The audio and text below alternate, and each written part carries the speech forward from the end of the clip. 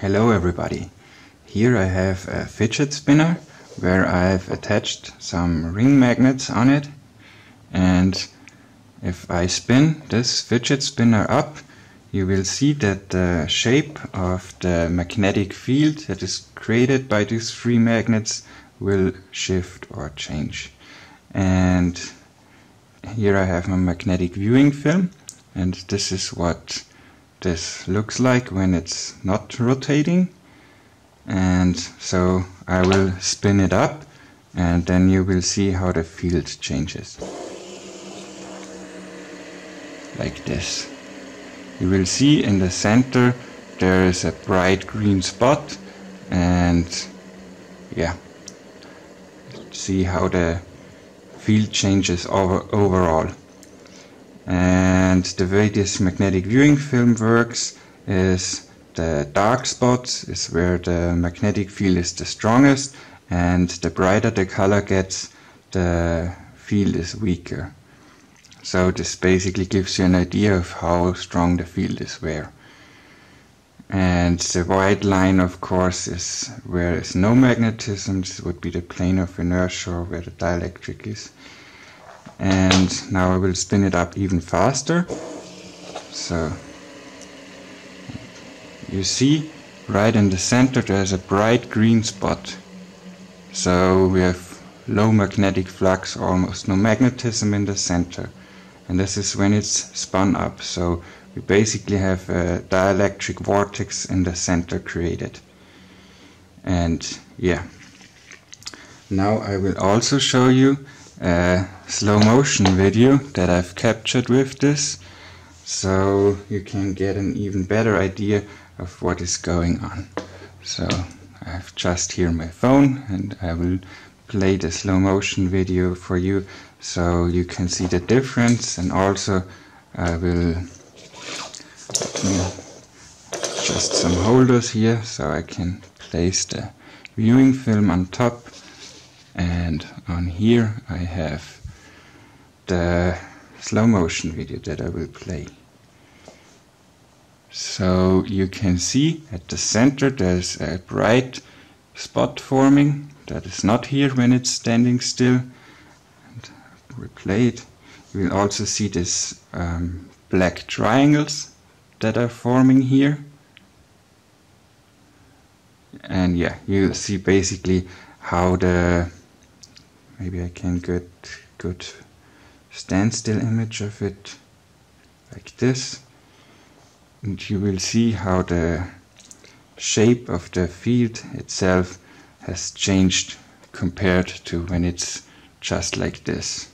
So this is captured at 960 frames per second so you can see quite well how rotating the magnets or the entire magnetic field created by this magnet itself changes the shape of it.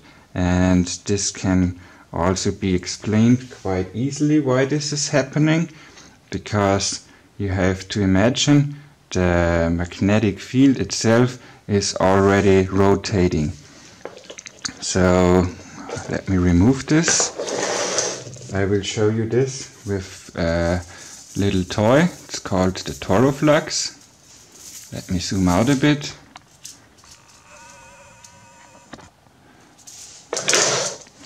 So you can see it even better.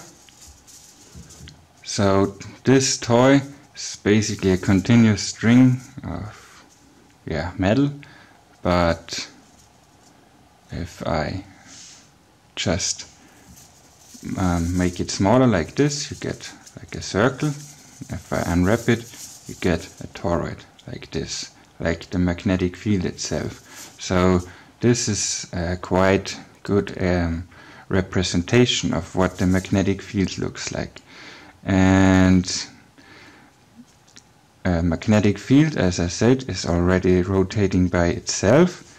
And you can imagine this like if I push it down a bit and you will see the inside there's are basically two vortices on both sides or both poles and yeah we have the, the toroid shape of the magnetism itself.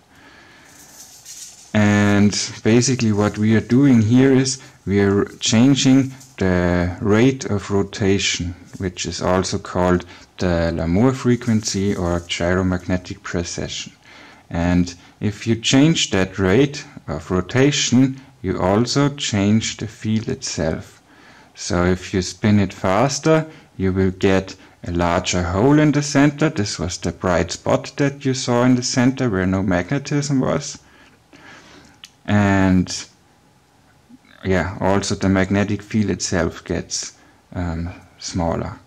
So this is also the difference between a strong magnet and a weak magnet. If you take two identical shaped magnets and one is in, for example, N40 Gauss and the other N52, you will see under the magnetic viewing film that the weaker magnet has a bigger magnetic field and a smaller hole in the center that you see here.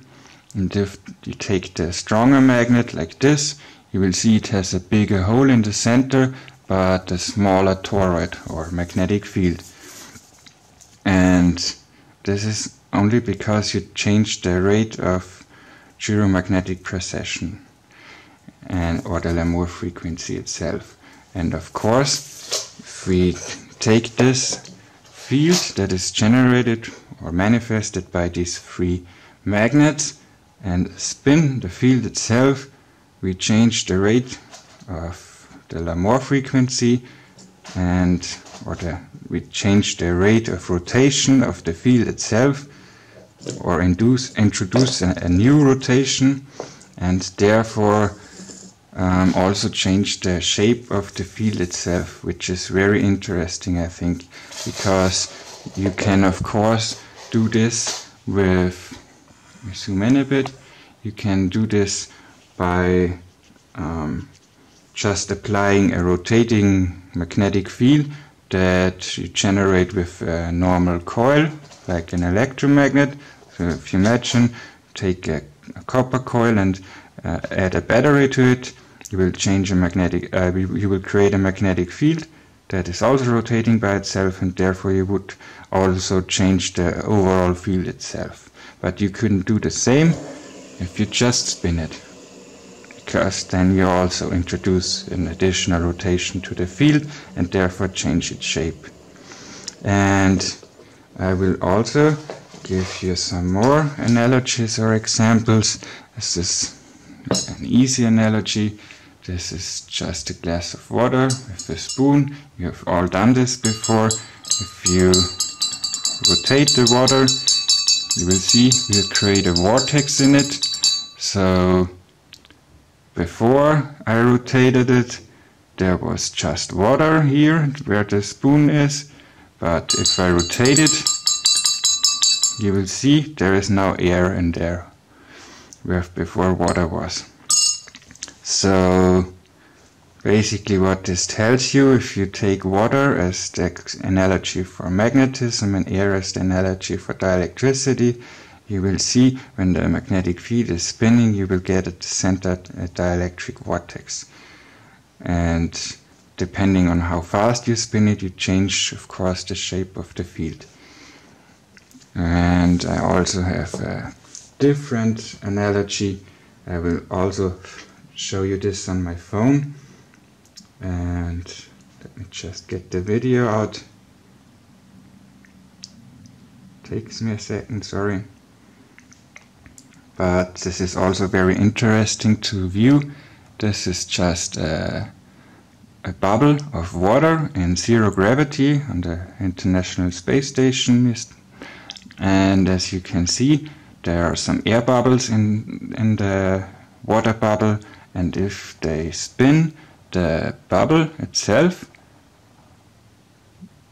you will see the air has moved to the center like a vortex and creates this toroidal let's say water field or magnetic field.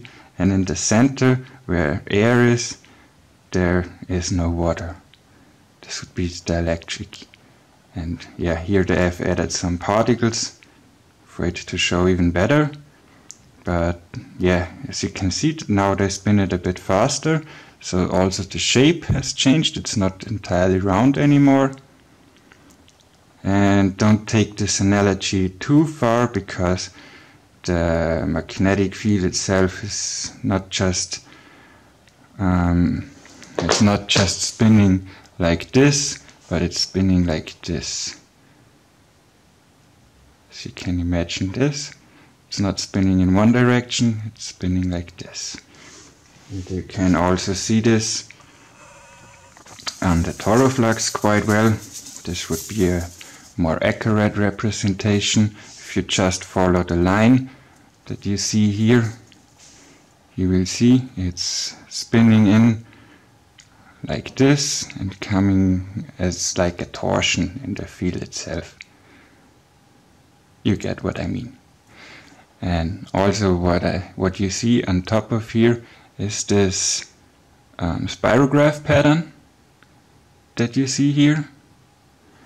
And you also see the same spirograph pattern um, with just a regular magnet under the magnetic viewing film.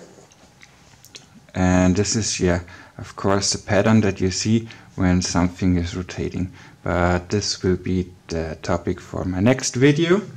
So stay tuned for that. And this is it for this video now. So thanks for watching and have a nice day and goodbye.